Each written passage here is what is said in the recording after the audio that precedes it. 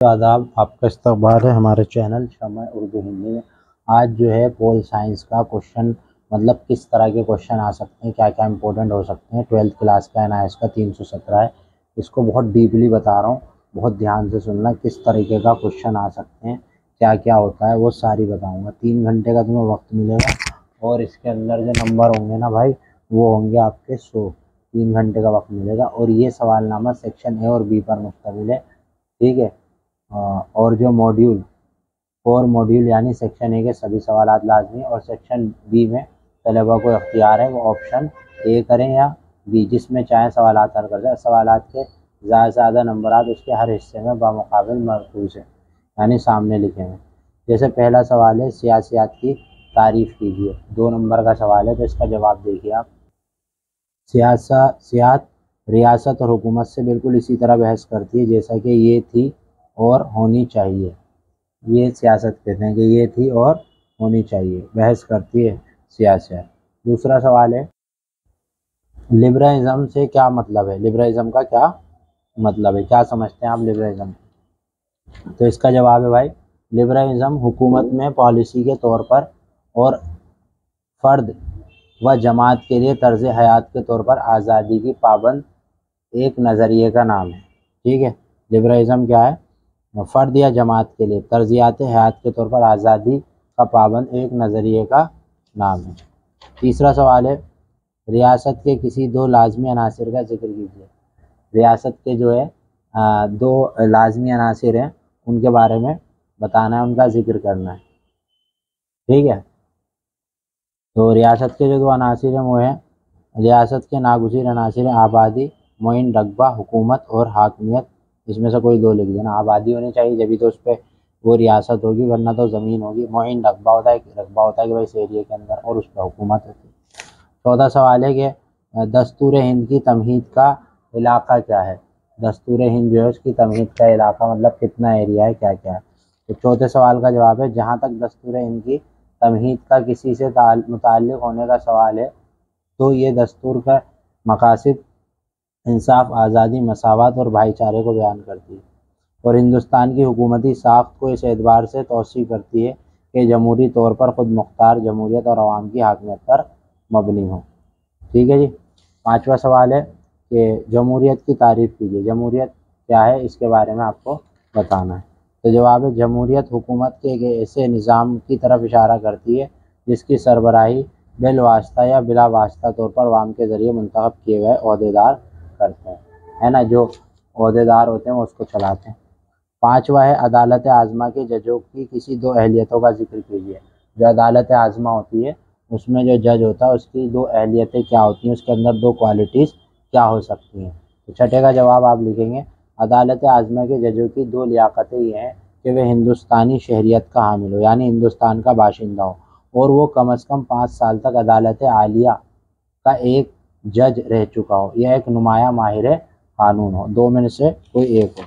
सातवां सवाल है, फ़िरका परस्ती का क्या मतलब है? बड़ा इंपॉर्टेंट सवाल है, आता है। सियास, सियासी फ़ायदों के लिए मज़हब का इस्तेमाल को कम्युनिकलिज़म कहते हैं, यानी फ़िरका परस्ती कहते हैं। अगला सवाल है कि प्रेशर ग्रुप का क्या मतलब है? प्रेशर ग्रुप क्या होता है? तो सातवें का जवाब है कि प्रेशर ग्रुप ऐसे फ़ायदा प्रस्त ग्रुप हैं जो अपने अपने फ़ायदे से मुतल मुतालबात को पूरा करवाने की आरज़ू के ग्रुपों की हिमायत करने की तर्ज हुकूमत के फ़ैसलों पर असरानंदाज होते हैं। तो ये आठवें का है। नवा सवाल है कि हिंदुस्तान और रूस के दरमियान बाहमी ताउन के किसी दो मैदानों की शनाख्त कीजिए। ठीक है, जो दोनों में बाहमी तनाव, ताउन हो। तो इसका जवाब आप देख सकते हैं अपनी स्क्रीन पर कि हिंदुस्तान और रूस के दरमियान बहावी ताउन के दो मैदान हैं। हिंदुस्तान के इकतदी प्रोजेक्टों में रूस की मदद और दोनों मुल्कों के दरमियान दो तरफा तजारती ताल्लुक यानी तजारती ताल्लुक भी और प्रोजेक्ट में रूस की मदद भी है। दसवा सवाल है कि दस्तूर हिंद की, जो हमारा दस्तूर हिंद है, उसकी पाँच अहम खसूसियात को मुख्तसरा बयान कीजिए। तो इसका जवाब है कि दस्तूर हिंद की पाँच खसूसियात ये हैं।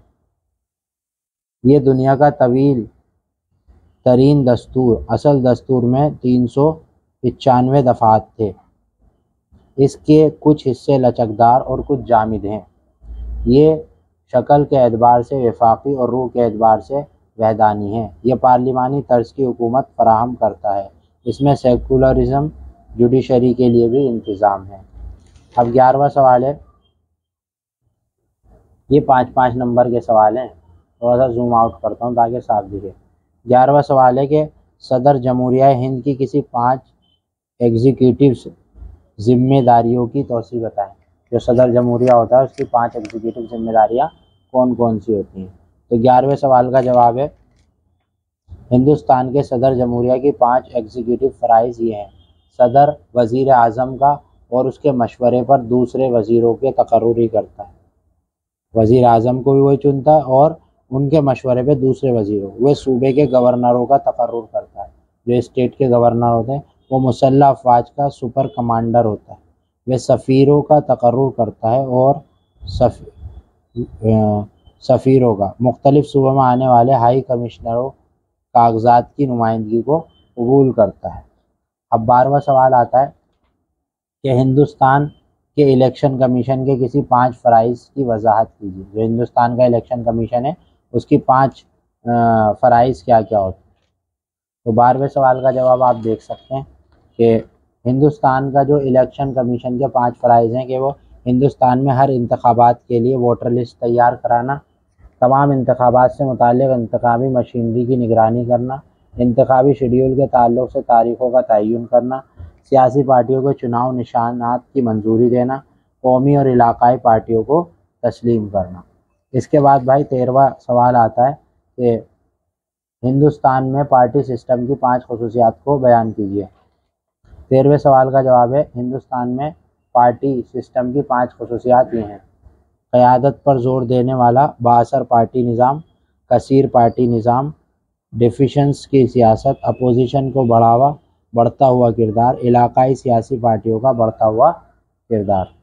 अब चौदहवा सवाल आता है हमारे सामने कि हुक्मरानी की तारीफ़ कीजिए। अच्छी हुकूमत की राह में हायल होने वाली किसी तीन रुकावटों का ज़िक्र कीजिए। हुक्मरानी की तारीफ़ बतानी है और जब अच्छी हुकूमत कोई करता है तो उसके रास्ते में कौन कौन सी रुकावटें आती हैं, उसका भी यहाँ पे ज़िक्र करना है। तो चौदहवें सवाल का जवाब है कि हुक्मरानी वो है जो मैार माश या मैार हयात को ऊपर उठाने के लिए अख्तियार स्ट्रेटजी, पॉलिसी, मंसूबों और प्रोजेक्टों में दिलचस्पी लें। रुकावटें, बढ़ती आबादी रिश्वत, सतानी तशदाना कल्चर का रिवाज। ये सारी चीज़ें अच्छी हुक्मरानी में रुकावट बनती है। इसके बाद जो है पंद्रहवा सवाल आता है कि हिंदुस्तान की खारजा पॉलिसी की पाँच बुनियादी असूलों की वजाहत कीजिए। हिंदुस्तान की खारजा पॉलिसी की पाँच बुनियादी असूलों की। तो पंद्रहवें सवाल का जवाब आप देख सकते हैं।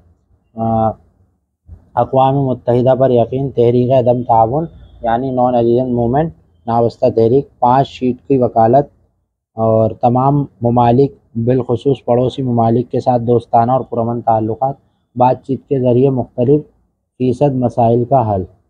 इसके बाद सोलवा सवाल आता है कि गुज्त ढाई के हिंद व पाक के ताल्लुक़ को बयान कीजिए कि हिंद पाक के ताल्लुक़ कैसे थे। तो सोलहवें सवाल का जवाब है कि रिश्तों में दोस्ताना मुआफ़ कारगिल दहशत गर्दी और कश्मीर के मसले के बावजूद पिछले दह के दौरान रियासत और हुकूमत के सरबराहान एक दूसरे के यहाँ दौरा, तजारत और कॉमर्स से मुतल माहों पर दस्तखत, एक मुल्क से दूसरे मुल्क में दोनों मुल्कों की आवाम की आमदोरफ्त के लिए ट्रेनों और बसों की खदमात की शुरुआत। इसके बाद सत्रहवा सवाल आता है कि कौम की तारीफ़ कीजिए कौमियत के लाजमी अनासर का ज़िक्र कीजिए कौम क्या है? सत्रहवें सवाल का जवाब यहाँ पे आप देख सकते हैं अपनी स्क्रीन पे। कि कौम ऐसे लोगों की एक जमीयत को कहते हैं जो अपने आप को मज़बूत रिश्तों के ज़रिए फितरी तौर पर एक दूसरे से मरबूत महसूस करती है मतलब जुड़ा हुआ। कौमियत के अनासर मुश्तर जोग्राफिया मुश्तर मज़हब मुश्तर सियासी जज्बात मुश्तर तहज़ीब, इन अनासर की मुख्तसरा तोसी की जानी चाहिए।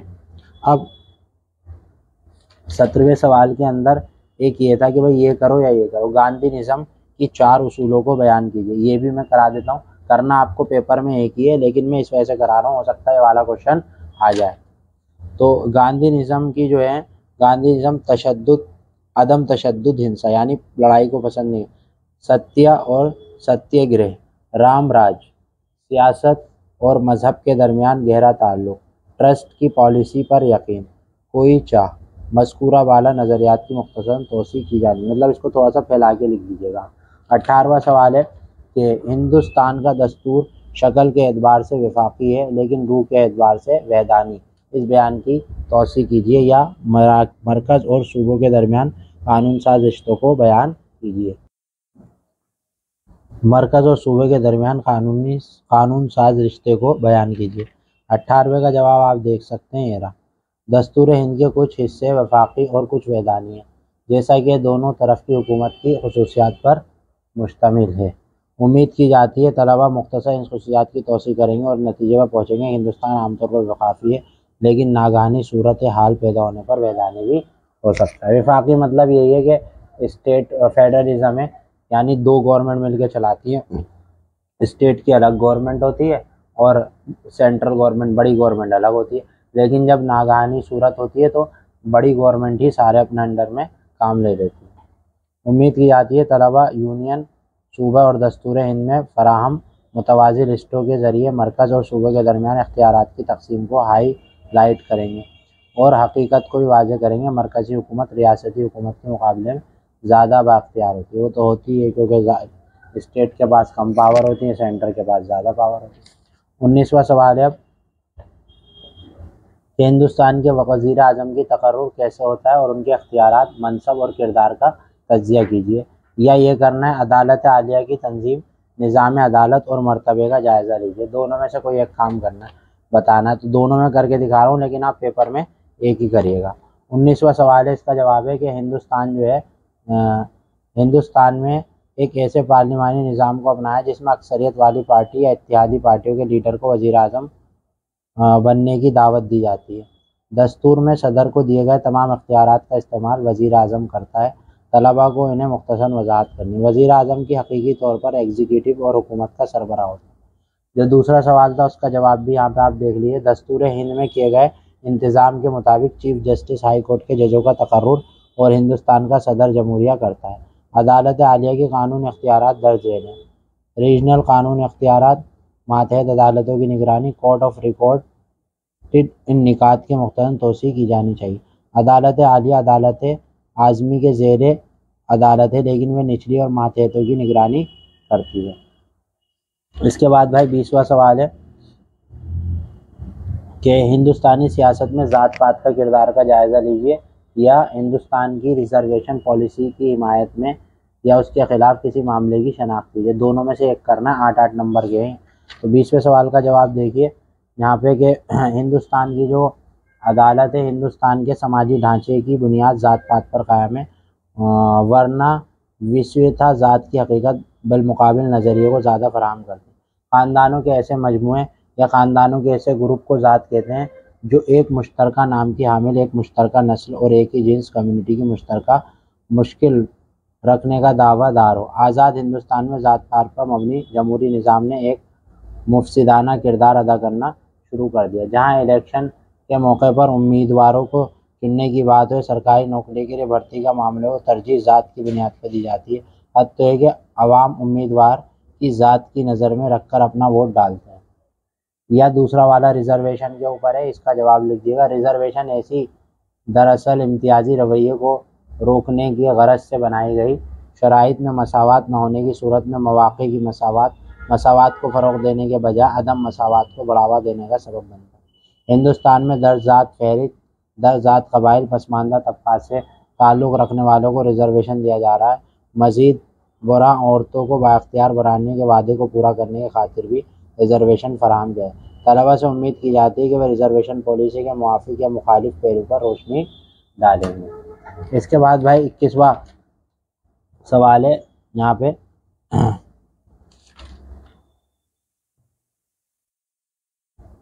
इक्कीसवा सवाल है मॉड्यूल वन का आलमी निज़ाम और अकवा मुतहदा यक खुदबियत का क्या मतलब है? यक खुदबियत जो है, इसका क्या मतलब है? ये सवाल पाँच नंबर में आ दो नंबर का आ सकता है। इक्कीसवा सवाल है। तो इक्कीसवें सवाल का जवाब आप यहाँ देख सकते हैं कि यह खुदबियत सिर्फ़ और सिर्फ़ यह खुद भी दुनिया की तरफ़ इशारा करती है। इस सूरत हाल में यूएसएसआर का नाकाम होने के बाद पैदा होती है। ये यक कुतबियत दुनिया की सरबराही हस्ते रियासत हाय मुतहदा अमेरिका ने की है। बाईसवा सवाल है, बाईसवा सवाल को देख लेते हैं क्या है। अकवा मुतहदा के किन्हीं पाँच असूलों की तोसी कीजिए। पाँच असूल क्या हैं, क्या काम है। तो अकवा मुतहदा का पहला काम है, आलमी अमन अमान कायम रखना, कौमों के दरमियान जंग को टालना करके असलाह करना, दो तरफा ताउन इकतदी और तहजीबी वगैरह मसालिहत या सालिसी के ज़रिए अख्तिलाफ़ को दूर करना। एफ़ बी ए ज़रूरत पड़ने पर अमन बहाली फ़ौज को भेजना, ठीक है, कोई पाँच लिख देना इसमें। इसके बाद तेईसवा सवाल आता है कि अमन को बरकरार रखने के ताल्लुक से अकवा मुतहदा की पॉलिसी का तजिया कीजिए। अकवा मुतहदा की जो पॉलिसी है, उनका तजिया कीजिए अमन के बरकरार रखने के ताल्लुक से। तो इसका जवाब है भाई या तो ये करना या ये। माशरती व इकतदी तरक्की से मुतल अकवा मुतहदा की एजेंसियों के किरदार का तयन कीजिए कि वो माशी और इकतदी में क्या रोल अदा करते हैं। अमन बरकरार रखने, दोनों में से एक करना है, लेकिन मैं दोनों पर दिखाऊँगा ताकि आप दोनों ही समझ लें तेईसवें का जवाब है, तलबा से उम्मीद की जाती है कि सबसे पहले अकवा मुतहदा के मकासद और पॉलिसी को हाईलाइट करेंगे, उसके बाद रोशनी डालेंगे, आलमी अमन को बरकरार रखने में किस हद तक कामयाब रहे। या ये, तलबा को W H O UNESCO I L O international labour organisation जब मुख्तलिफ़ इदारों की वजाहत करनी चाहिए। ये भी सब अकवा मुतहदा के इदारे ही हैं। इसके बाद जो है भाई, अगला सवाल आता है कि ब्यूरोक्रेसी का क्या मतलब है? ब्यूरोक्रेसी क्या होती है? उसके बारे में बताना है। तो इसका जवाब है कि ब्यूरोक्रेसी हिंदुस्तानी हुकूमत के अहम इदारों में से एक इदारा है। ये इदारा मुल्क के इंतज़ामी निज़ाम को बेहतर बनाने में अहम किरदार अदा करता है। इसे मुस्तबिल एग्जीक्यूटिव भी कहा जाता है। यानी ब्लैक सर्वेंट जो सियासी एग्जीक्यूटिव यानी वजीरों की फलाही पॉलिसियों और प्रोग्रामों को तैयार करते वक्त सलाह व मशवरा देता है। इसके बाद बाईसवा सवाल है, अवामी शिकायत के इजाले के लिए मौजूदा असलाहत की वजाहत कीजिए। तो बाईसवें का जवाब आप देख सकते हैं, अवामी शिकायत के अजला से मुतल असलाहत ये हैं। पब्लिक ऑफ़िस में रिश्वत सतानी को रोकने के अमल की जाँच की जाए, मरकज़ी वेजुलेशन कमीशन का क़्याम अम्बेंसमैन इदारे की शुरुआत लोक अदालत और लोकपाल का क़्याम। तलबा से उम्मीद की जाती है मशकूर वाला वजाहत भी करेंगे। इसके बाद आखिरी सवाल है इसका कि यूनियन पब्लिक सर्विस कमीशन की साख इख्तियार और पोजीशन का जायज़ा लीजिए या कैबिनेट सेक्रेटरी के अहम फ़राइज़ का जायज़ा लीजिए। दोनों को बताया हूँ, दोनों में से कोई एक करना होगा पेपर में। तो तेईसवें का जवाब यहाँ पे आप अपने देख सकते हैं स्क्रीन पे। यूनियन पब्लिक सर्विस के चेयरमैन और मेंबरों का तकर्र सदर जमहूरिया करता है यूपीएससी इंतज़ामी और इस तरह के दूसरे ऊँचे अहदों के लिए मुसाफ़ती इम्तहान कराते हैं। मंतखब उम्मीदवार मेहनत कोशिशें तरबियत में हिस्सा लेता है, अफसरों की प्रमोशन मअतरी और मुंतकली वगैरह ताल्लिक मामला के तई सिफारिशें भी करें। मुल्क के लिए सबसे ज़्यादा बाहल एडमिनिस्ट्रेट की एक टीम तैयार करने में यू सी पी एस एक बहुत ही काबिल तारीफ़ रोल अदा करती है। अब है कैबिनेट सेक्रेटरी के अहम फ़राइज़। पहला फरीज़ा यह है, बैरूनी मुल्क के वफद भेजने के लिए तजावीज़ तैयार करना इंक्वायरी के लिए पब्लिक कमेटी को क़्याम से मुतल करना, पहले से तयशुदा ये फ़ैसलों को बदलने के लिए तजावीज़ पेश करना, इंतजामी शोबों से बाहर उठने वाले मामला पर गौर करना, सदर जमहूरिया और वज़ी अजम के ज़रिए कैबिनेट के सामने पेश किए जाने मामला पर गौर, या कोई दूसरा मुतल ज़िम्मेदारी। तलबा से मस्कूरा वाला फ़राइज़ की तोसी करने की उम्मीद की जाती है। तो ये था भाई पेपर। जो कि मैं मॉड्यूल मैंने आपको सारे सियासत का बना दिया और समझा दिया। अगर आपको ये जो है मालूम पसंद आए तो प्लीज़ वीडियो को लाइक शेयर सब्सक्राइब ज़रूर करें चैनल से जुड़ जाएँ और अपने दोस्तों को शेयर करें ताकि वो जो परेशान हैं उनको भी फ़ायदा पहुँच जाए। शुक्रिया।